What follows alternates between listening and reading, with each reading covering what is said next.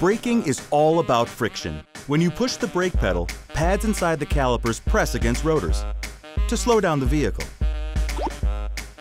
Fact is, over time, all brakes wear out.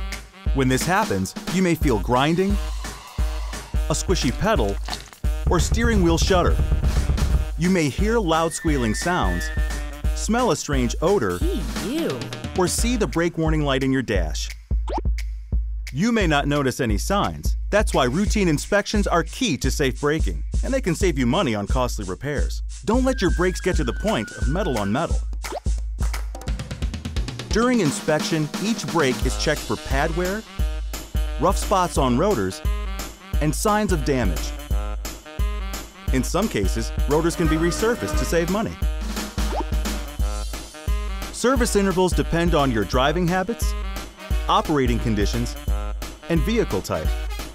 Remember, original genuine parts fit and perform best. And check your brakes every 10,000 miles or once a year, whichever comes first.